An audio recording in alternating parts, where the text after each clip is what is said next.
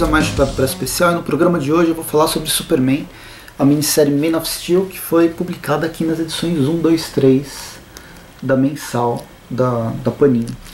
Eu demorei um pouco para falar porque eu ia esperar fechar o primeiro arco e depois, quando chegou a edição número 5 aqui em casa, que eu me toquei que a cada duas edições, a cada edição nacional a gente tem uma de Superman e uma de Action Comics.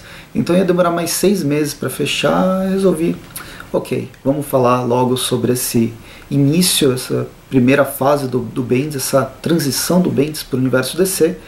E depois a gente, daqui a pouco, na, no próximo vídeo, daqui a alguns meses, a gente volta para falar sobre o resto.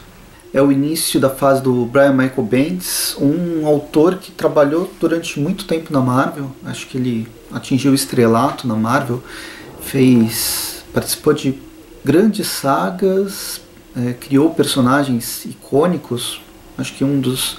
O principal é a Jessica Jones, inclusive, que ela tem seriado, ou teve nesse embrólio de mudança de da Marvel ser comprada e tal. Enfim, não vou entrar nesse, nesse mérito. Mas o lance é que o Bendis ele é um bom autor que é, apresenta histórias muito boas, mas que com o tempo estava caindo numa numa repetição cansativa na Marvel.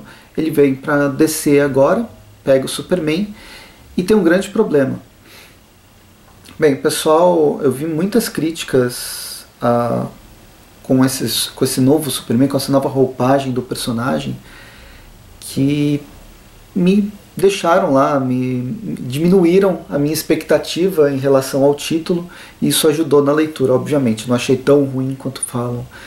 Mas uma coisa que eu não gosto do Bendis, que é meio complicada, é que assim como outros autores que estão se despontando nesses últimos anos, o Brian Michael Bendis ele tem um problema de criar cronologias pessoais e assumir elas como se fossem a, a principal.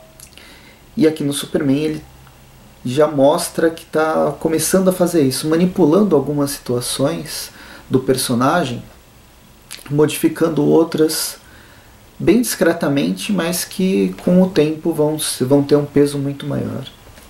Mas enfim, o que, que tem nessa Superman 1, 2 e 3 foi lançado entre março e maio agora de 2019. É, depois do, da edição comemorativa da Action Comics 1000, a DC ela reformula sua, sua série do Superman. A revista do Superman Action Comics não é mais quinzenal, ela volta a ser mensal. Mas para fazer essa passagem do, de título né, pro, pro, pro Bendis, que vai pegar tanto Action quanto Superman, aqui a gente tem uma minissérie que é o Man of Steel, uma nova minissérie chamada Man of Steel, e a história vai começar com essa que saiu em DC né, Nação DC, número 0. Que consiste, basicamente, eu não vou falar sobre a arte porque nenhuma delas, tanto Batman, Detective e Superman, são tantos artistas que passam, tantos desenhistas, são todos desenhos bons, nenhum deles me, me desanimou. Mas são desenhistas e arte finalistas e coloristas que a cada edição muda completamente. Eles tentam manter até um padrão, uma certa padronagem, né, para ter continuidade e são bem sucedidos nisso. A gente tem inclusive o Doc Schenner, Jay Rabuk, tem o Ivan Reis no meio, no meio do, da, das edições, mas ah, me incomoda não ter um, um, artista só, pelo menos por arco. Mantém um, uma equipe de, de desenho, uma equipe de arte por arco, que cria uma identidade melhor para a narrativa, senão fica tudo meio genérico. E eu acho que todas essas histórias, no que consta em, no, em relação ao desenho, elas são genéricas. Elas são bem feitas, elas são contemporâneas. A narrativa dela é, é ágil, tem um ritmo muito bom, mas elas são genéricas, elas não conseguem ter um diferencial de autoria para bem ou para mal. Enfim, a revista do Superman nessa minissérie Man of Steel, vai trazer dois conflitos para o personagem.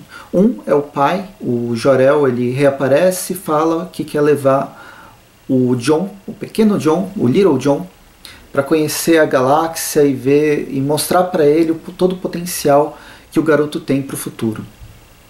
O garoto, o John, ele quer ah, fazer isso, então a Lois Lane resolve embarcar na aventura junto. Isso deixa um vácuo, né, que o, o um vácuo de, de relação pessoal, onde o Clark ou Superman, os dois personagens diferentes do Batman, o Clark e o Superman são a mesma são a mesma pessoa, o Clark ainda com, como principal, ele ele sofre um pouco de depressão com isso. Ele tem que aceitar que os, o filho e a esposa dele estão longe, é extremamente longe, de forma a ele não conseguir nem acessar só através de um dispositivo de voz, né, um telefone. É meio que ele foi fazer um intercâmbio, levou a mãe e o, e o pai ficou preso no, no seu dia a dia. A Lois ela acaba sendo despedida do Planeta Diário, mas tem um contrato para fazer um livro, então ela faz esse livro cósmico que a gente vai ver quando eles se tornarem. Mas é, é uma relação que o Perry White, com o Perry White, com o Planeta Diário, que a gente já está acostumado. A, a Lois Lane ela acaba sempre se afastando. E para recuperar nesse vácuo no Planeta Diário, que acontece meio que em paralelo, mas é, é uma parte importante do personagem, a gente vê o Perry sofrendo com a saída da, da Lois Lane.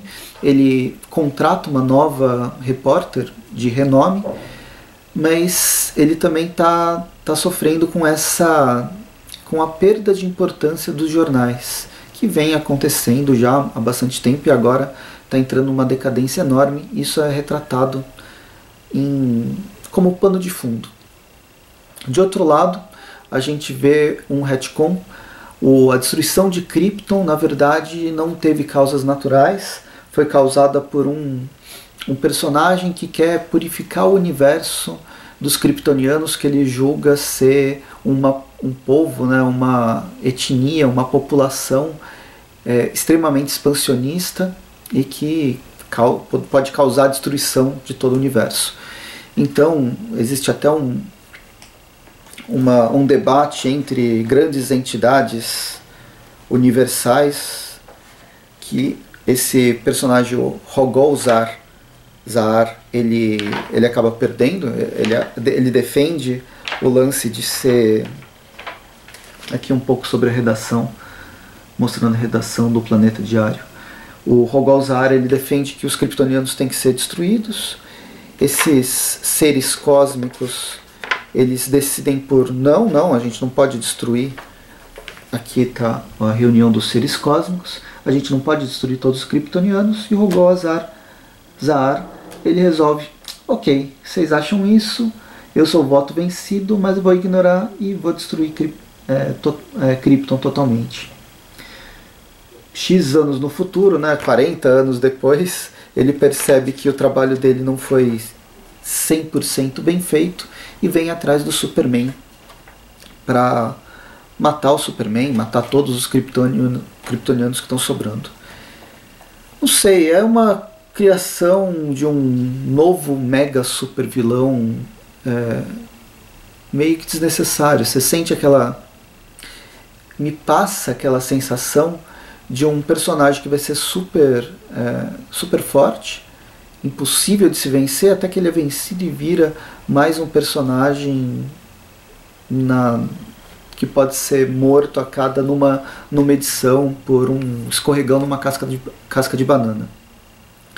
Então, bem, a história ela é no máximo comum.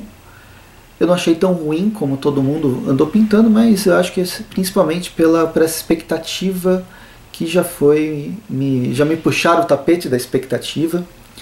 E eu sei de coisas que vão acontecer no futuro que eu não gosto, que eu não concordo, mas enfim, essa é a nova fase do Superman que veio de uma fase muito boa durante os, todo o Renascimento. E agora, infelizmente, vai ter uma nova roupagem mas que cronologicamente acho que vai representar um revés. Mas quando chegar exatamente nesse revés que está me incomodando, a gente volta a fazer um vídeo. Seria, acho que no segundo, no segundo ou terceiro arco que está saindo nos Estados Unidos agora. Então, vocês gostaram? Estão acompanhando o Superman? Não estão? Gostam do Bendis? Não gostam do Bendis? O que, que acham que ele pode trazer para o personagem? É, comente nos comentários, a gente conversa nos comentários, curta o vídeo, assine o canal, assine o Chapéu do Presto lá no Facebook, compartilhe o vídeo que ajuda bastante, me siga no arroba Gaudio lá no Instagram, onde eu falo mais sobre filmes e séries. E é isso, espero que tenham gostado, até mais e bons quadrinhos.